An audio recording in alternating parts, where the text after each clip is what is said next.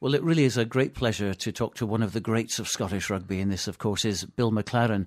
Now, Bill, welcome to the programme. Thank you very much. It's a delight to have you here. I'm sorry, sorry that we don't have as much sunshine as we would like to have, but uh, it's a pleasure to have you uh, visit, visit us. And what a beautiful view you have here. We were very lucky to to uh, to, to get this house when it came on on the market, and um, we've been, just been delighted ever since. And I always say to Bette that uh, whenever I leave here, it'll be feet first because it's such a wonderful view, and uh, we've been very happy here. Tell me, Bill, how much do you miss doing these commentaries now? Because it's been five years. Oh, the, uh, I, I, miss the preparation. I used to love sitting down with a, a, an empty foolscap sheet and uh, start filling it up with all the details of the players, the fixture, you know, how often Scotland had beaten England and, and so on. And uh, so that by the time the match came along, I had in front of me a big double foolscap sheet of, paper in which uh, I've got, I would have every single detail for the game and for the players in the game that I would need to have. And um, I, I found that that was really the best way to do it was to start at the beginning and finish at the end and, and get as much information about the players and the fixture itself as I possibly could.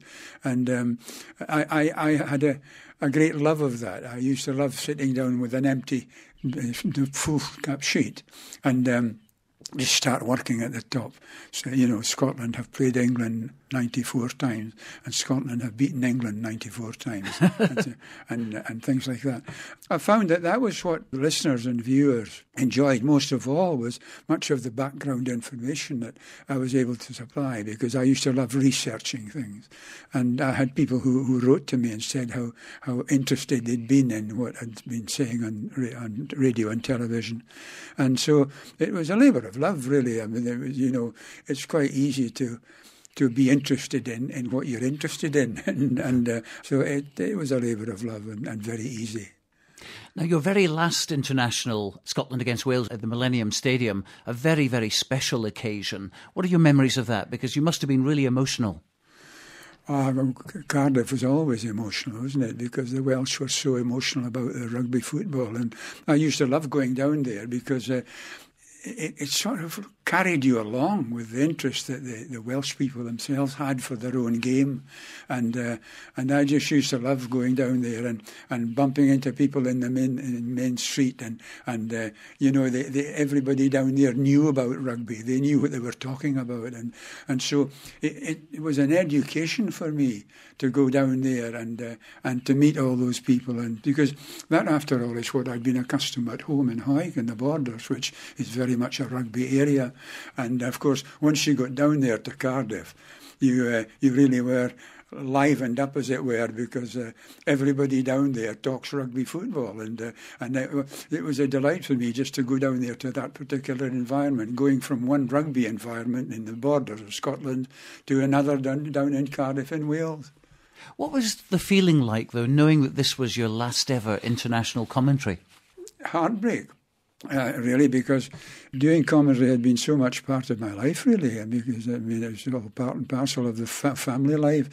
Family had to get used to me uh, locking myself away and, and studying uh, the details about the players and the fixture and so on. And so it was just a part of life, but it was a part I enjoyed because I was lucky enough to be born and bred in a rugby area. And the international match, a lot of people thought that was your last commentary, but it wasn't, in fact, because you did the Melrose Sevens. That's that was your very last uh, commentary. Oh, the, Melrose Sevens, the nightmare. you know, when you think of, when you think of it, you got sixteen teams, all different colour of jerseys, and, some coming from goodness knows where. You know, England, Wales, Ireland overseas. We were all kinds of uh, South Africans, New Zealanders, and that Melrose Seven. Melrose, of course, is the Great Sevens tournament, the first ever, and and um, it is just a unique occasion in rugby football. And um, I'm lucky enough to have been born and bred in the borders, so that the Melrose Sevens is a, is a kind of home from home, and uh, it's uh, it's always the big big seven-a-side tournament to be to be uh, covered by television and and uh, a, a, terrible examination for a commentator because uh, by the time you come along to the Melrose Sevens, you wish you hadn't. but uh, but uh, it's by slogging and doing the homework. You uh, you prepare yourself for it, and uh, um, I, I, over the years I managed to work out a formula that seemed to work for me, and uh, and so uh, I used to love the, the the, occasion because Melrose Sevens was Melrose Sevens. It's special. Um, you know, you can talk as much as you like about Hong Kong Sevens and so on, but here in the borders, Melrose Sevens is uh, the big occasion, and uh, and it's wonderful to see a small border club, um, you know, on, on the day with 15, 20,000 people in it. Quite extraordinary. Mm. And uh, it, it is one of the great unique occasions in, in, in British rugby, really. But it's a test, and uh, and it was always a great delight at the end when you when you, you, you put the final curtain to the actual co- commentary. And uh, you thought, well, thank God that's over. so, why did you decide to quit at the top, effectively?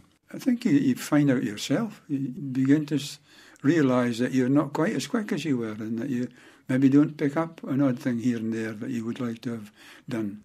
And the game tells you, and you, you soon begin to realise that you're not quite with it. And I think that's the time to, to say, you, you know, well, I've, I've had my share and, and I've been lucky. I think that, that's, that's the way to do it. I've had a great time. I've, I've seen some of the seen some of the greatest players that the world has ever seen. David Campese, for instance, just as one example, and there are so many others. All the great touring sides, the All Blacks, the South Africans, the Australians, the Wallabies, with their particular style.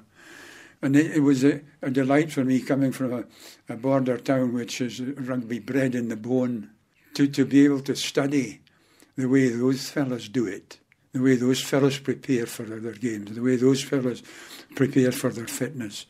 And uh, and it, it, it enhanced my own knowledge of the game and, and, and of the way people in other parts of the world like to play it. And you quickly learn to appreciate that other people have other ways of playing the game. That it doesn't, they don't all do it like the border people in, in Scotland.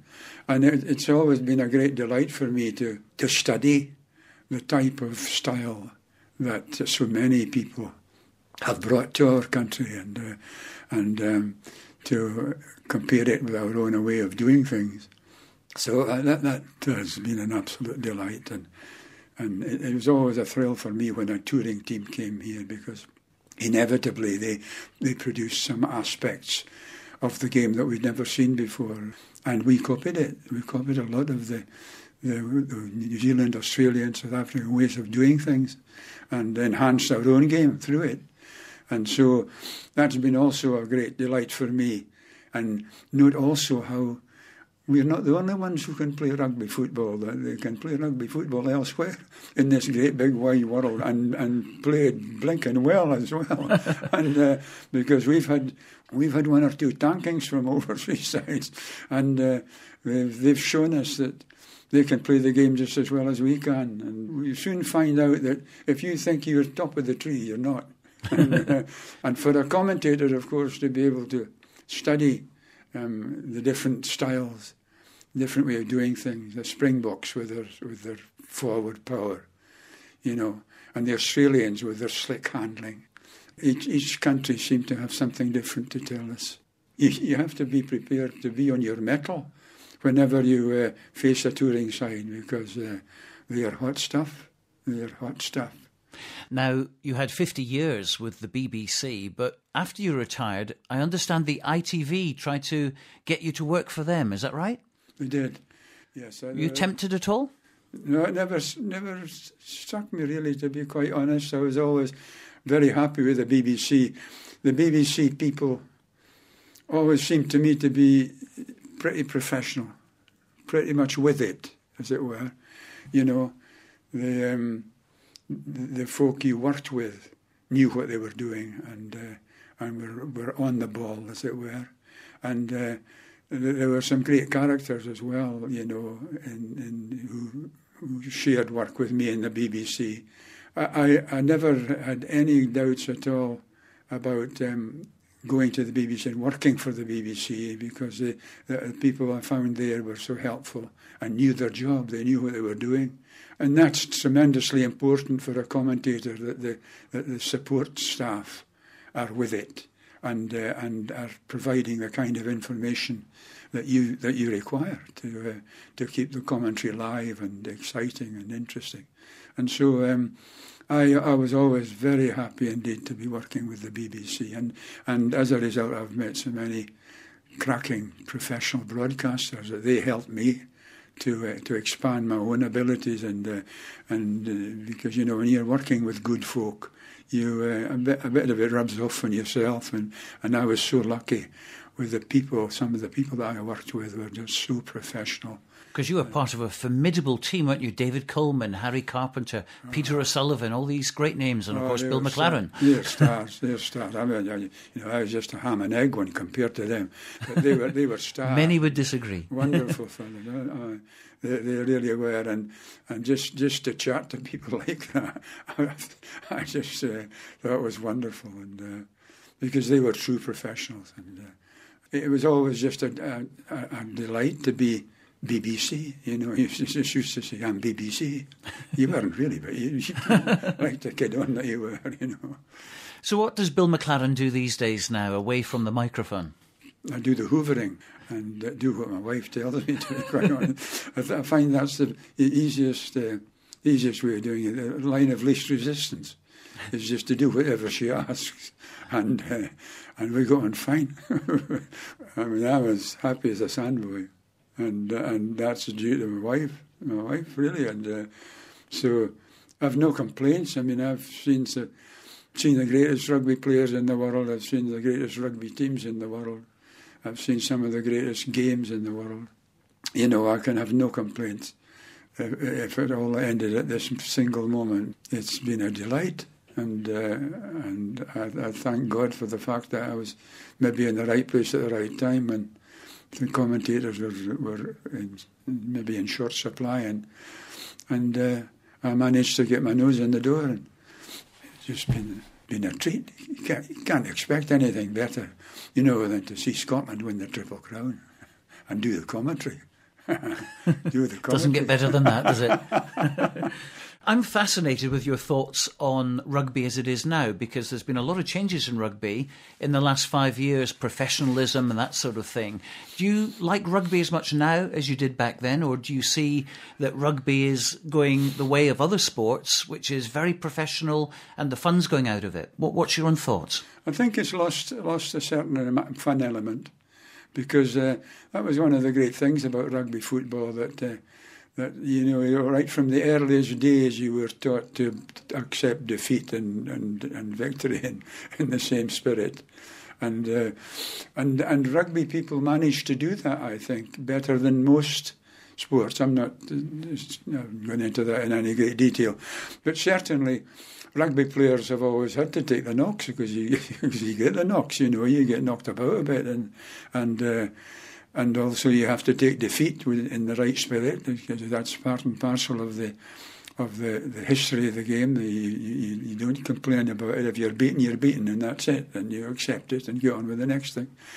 I think it's taught youngsters an awful lot about the game, and, and it's also taught youngsters to appreciate the acceptable bits of, of, of the rugby union game because there are so many of them. I mean, it's a great game.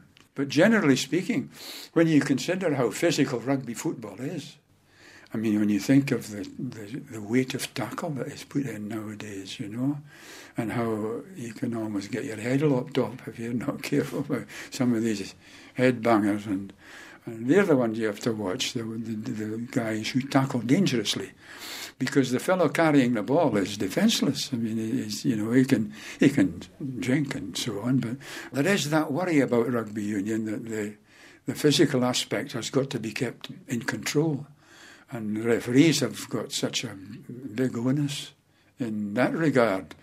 Maybe some of them need a wee bit, you know, reminder that. Uh, that they have a big part to play in keeping the, the level of of not violence, but a level of, of that kind of robust play at the right level. And uh, because because it, it, it, the physical aspect has to be part and parcel of rugby football. It's that type of game. But the fact is that rugby can still be played safely and, and physically if you know what I mean. And provided, uh, as I say, the, the approach by coaches is, is right, the players is right, uh, and, and uh, the referees is right. And if you get these things right, it's the greatest game in the world. a marvellous game to play, and it's a marvellous game to commentate on. And what about this year's Six Nations, which was a, a fantastic uh, ending on the day, and of course for you personally to see your grandson Rory Lawson uh, step out uh, for the very first time and start a game at scrum half for Scotland. You must have been a, a very proud man there. But what a fabulous ending to the championship. I was petrified.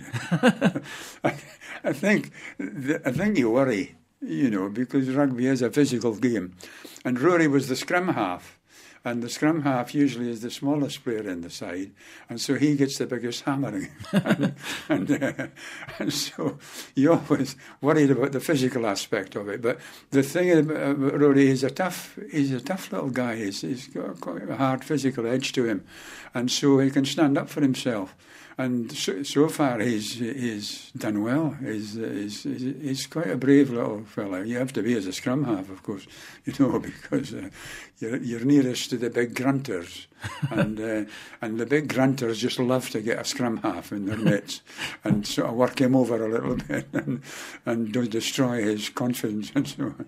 So uh, Rory's had that to put up with, but but he's done it very well because he's he's, he's quite a he's quite a brave laddie. Uh, he'll drop at the feet to stop uh, a foot rush. Sails in where angels fear to tread. I've often thought, oh, he hasn't done it again, you know. but um, he's done well. But, but, as a commentator, watching your grandson playing, and particularly at scrum half, so close to those great big lumps, you know, who, as I say, just, just live to get their hands on a scrum half. That's, that's a bit worrying sometimes, but uh, you have to get on with it.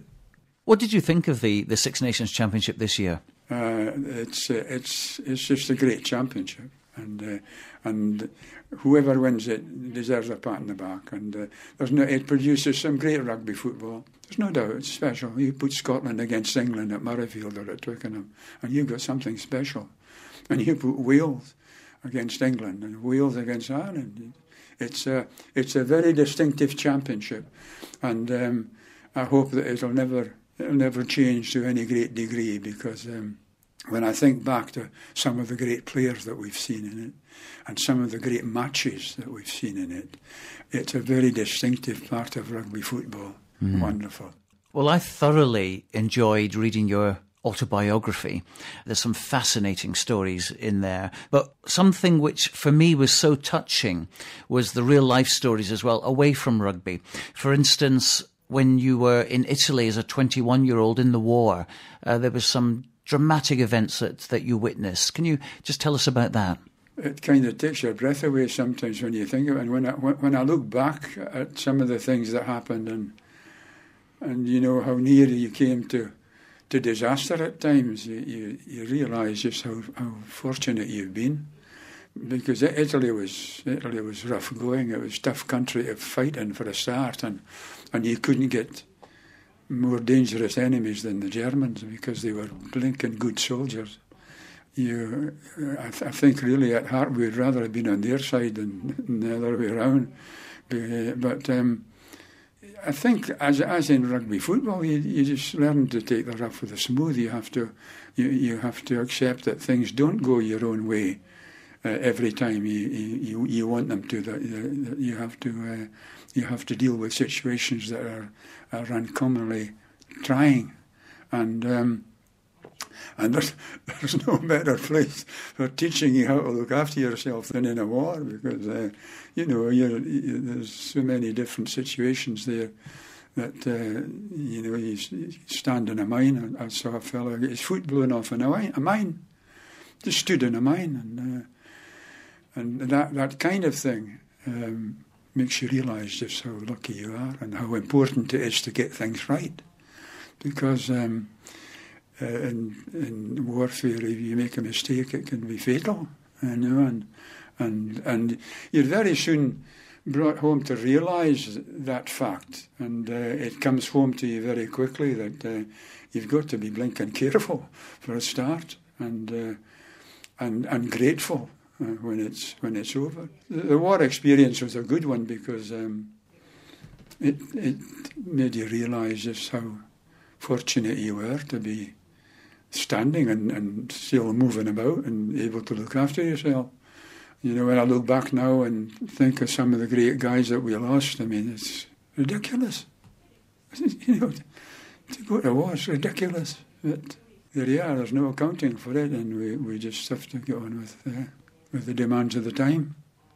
Well, it was in 1947 that you met your wife, Bette, locally, and 60 years on, you're still together. What's the secret, Bill? I just hit her every now and then.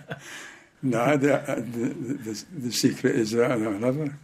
A lot of people don't make it to 60 years. I mean, that's an incredible achievement in this day and age. Aye. And we just go on well, you know, and uh, it's it's difficult to explain, but but um, the, the, when I first saw Bette, and I didn't have any doubt, never any doubt, and so I, I was lucky that way, and uh, and she's been a gem ever since. As I say, every I hit her every now and then, and it, it, quietens her down a wee bit, and uh, we get on fine.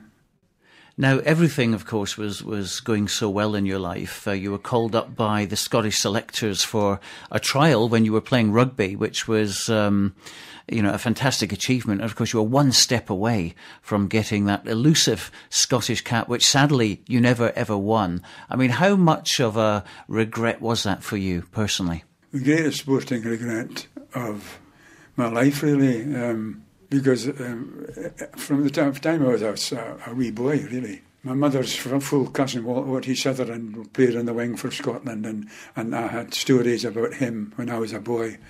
And um, I always had one great desire was to play for Scotland once. Would have done fine. I don't need 50 cups. One would have done me fine. Um, but that's that's life. It got tuberculosis of the lung. That put an end to my rugby career and uh, nothing you can do about it. You just, just got to get on with it. Um, take the next stage of your of your life and make the best of it. And um, and so that that when I look back, uh, when I'm old and doddering, about 114 years old, and I look back, that will be the one great regret of my life. Well, when did you actually discover that, uh, that you'd been diagnosed with this? Just having difficulty in getting to my feet and after a tackle at rugby. I was, I was playing for Hawick and uh, I was finding when I went down in a tackle I had difficulty getting up. I was just uh, short of puff. So I, got, I, got, I, went along to the doctor and just, just diagnosed. And of course, tuberculosis in those days was a killer. Mm. I mean, there's no nonsense about it. And, and that was a rugby career over and my teaching. And it was. Uh, it's a hard time. Uh, but there you are. You, you, you, just deal with those things as they come along, and uh, and you make the best of them. You do the best that you can, and uh, if you if you put your best foot forward each time, at least you've got a chance. And so that's that's what happened to me. I was lucky enough to be treated by a, a drug called streptomycin, which had just come on the on the market, as it were, and um, in my case, it produced a miracle cure. My, TB in the lung, the big hole in my, my left lung. Nothing shifted it, but once the, once it, uh, the, this drug streptomycin got into it, whew, every couple of months it closed. You know, we talk about a couple of months, but in those days, a couple of months was. And every couple of months it, it closed further and further, and eventually the hole in my lung was closed completely, and I got a complete cure, which was un- unusual. So maybe, maybe because in my earlier days I'd been fit, and really fit, you know, and uh, and I think that was a factor in in my recovery. But certainly, the and Dr. Biaggi, who treated me and for whom I've, have a lot of regard. Um, he used to come in and stand at the bottom of my bed with two X-rays, and that was the first one when I first came in with a hole in my lung. This was the one, the modern one, where the hole had closed, and I got a complete cure. So it really was a miracle, wasn't it? Which was a, which was a miracle. Hmm. It was a, a, near miracle, and uh, so I was just dead lucky. I did as I was told, of course, because I was scared stiff. Mm. I mean, it's easy. It's easy to do what you're told when you're scared stiff, and uh, and TB scared me, you know, because you knew you were ill, you knew you were in trouble. It certainly made you rivet your mind on what you were doing and, and how important it was to get the treatment right and to do as you were told. So I got a complete cure, which was unusual, but, but boy, was I glad. And uh, Dr. Murray, Dr. Biaggi, people like that, just gems, gems. I presume living in Hawick, being born in Hawick, rugby's in the blood. Well, that's that's right. You were born and bred, really. Uh, I idolised the, the players of the day: George Reid and Jock Beattie, Willie Welsh, Jerry Foster, and. Uh, I knew all about them because they were heroes, they were local heroes of mine. And I wanted to be like them. And I had a great desire to be like, especially Willie Welsh. Willie Welsh was a flank forward for Scotland, over 20 caps. And I remember in the local paper once, referred to McLaren as showing touches of Willie Welsh. And oh, that pleased you. I remember cutting out, cutting, and cutting and pasting it up. And uh, it was great, and because uh, I, I idolised Willie Welsh, I thought the world of him. And um, I, I, never had any doubt that, uh, as to what I wanted to do in a sporting sense. It was it was easy, and uh, I think I might have made it. I think I, I think I might have made it because I was I was I was very keen to do well, and I was keen to learn from people and and, and but there you are. You just, I didn't. that's all there is to it. And the name is not in the book. I would have given anything for W.P. McLaren, bracket, Hawick, end bracket. One calf would have done me fine. Just one. but, uh, c'est la vie. But you did, of course, put on the famous Hawick jersey. That must have been a, a great thrill for you. Oh, yeah. And, and, and this was the Greens. And the Greens are the Greens this was brought home to me very early on when I was a youngster. My father was, was encouraged me tremendously. And uh, I knew all about the great players of the day, and I always wanted to be an international rugby player. It's the one big, deep regret that I have that I never managed it. But um, certain compensations. Like beating Gala on a few occasions, no doubt. And we don't talk about Gala. yeah. There's been some good players from Gala, hasn't there? Well, we don't talk about it. I have a great respect for Gala. Hawick and Gala are intense rivals, of course, have been for a hundred years. But um, there have been some great fellas come out of Gala and some great rugby players have come out of Gala. What about your favourite Hawick player? W.R. Sutherland. Wattie Sutherland was Scot- and Scotland's wing three quarter my mother's full cousin, she thought the world of him. And he played in the wing for Scotland. He was a flying machine. He ran in the athletics championships, and uh, and he he was something else. I was always always I was always so proud to have been related, even in distance, to W. R. Sutherland of Hawick in Scotland. Oh, I, would have given anything to have been like Wattie Sutherland. But then I was never as quick and I didn't get as many caps. but uh, just to have been related to him in that distant way was something for me as a boy, as a youngster. To be mentioned in the same breath as Wattie Sutherland was. Something. Let's turn now to um, your journalistic and commentary career because I believe you started off in, at the Hawick Express as a junior reporter, but of course it meant that you could cover all the uh, all the Hawick games and, and other rugby matches as well. Covered a lot, every single item. I wrote a weekly column, uh, which had to have a very strong rugby content, as you can imagine.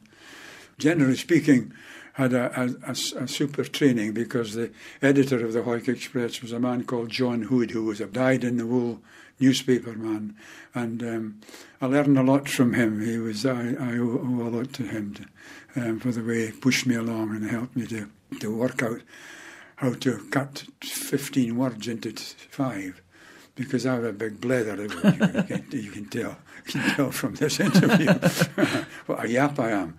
But John Hood was able to cut me down from 100 words to 20 and yet say the same thing.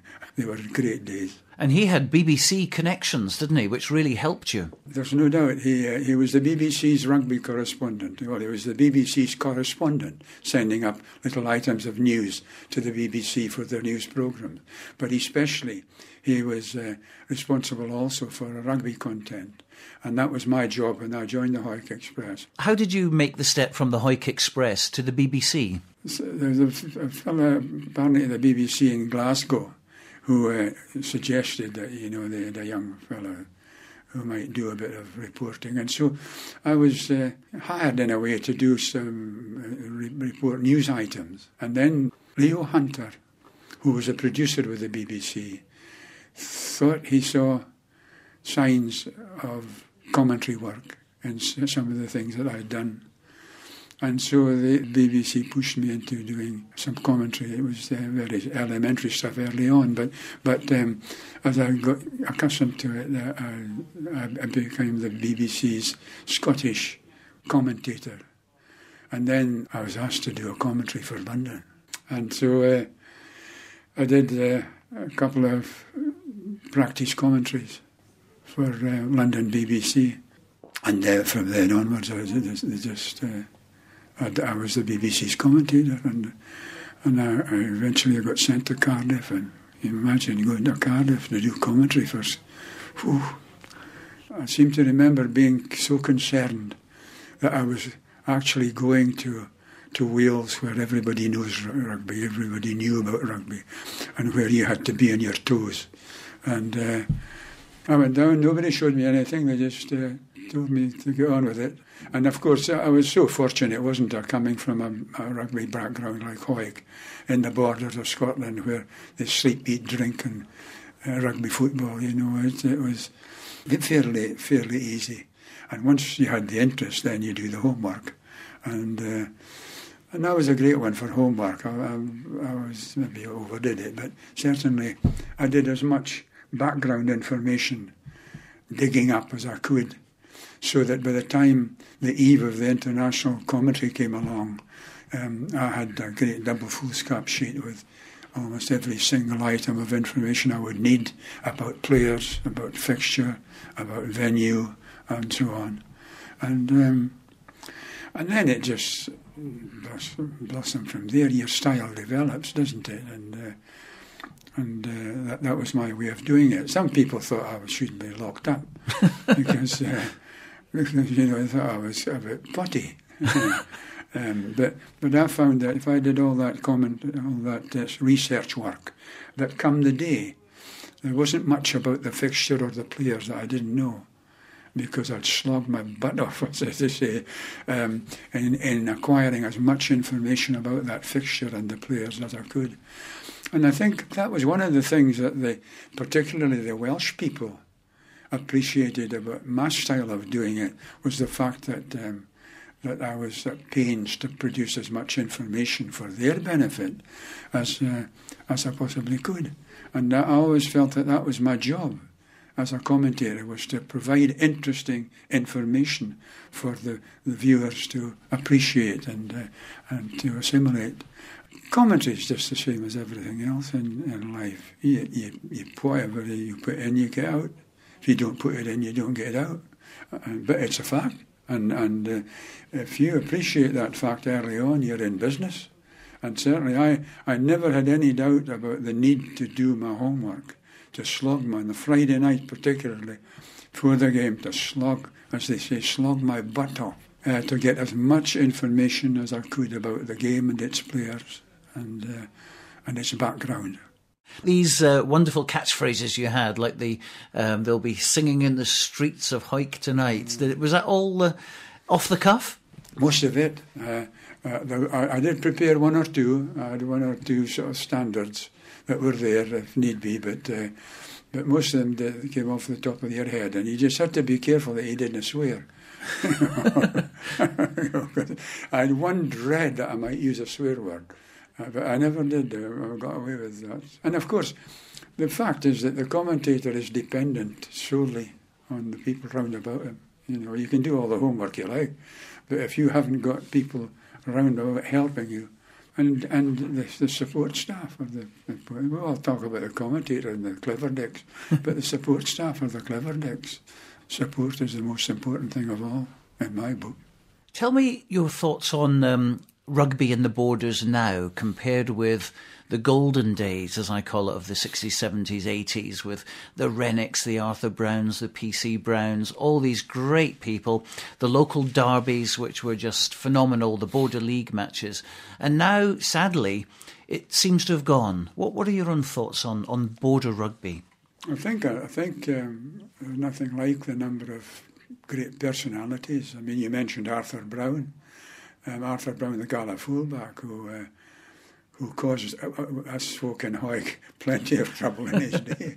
But I mean, I mean, it was an absolute delight for rugby football because he enlivened every game he played in, and uh, and and he tilted his lance, he, he, and that kind of fellow brings a crowd to its feet. I was lucky in the borders, there wasn't, uh, you know, with people like that, because the borders is cluttered with with personalities of that type.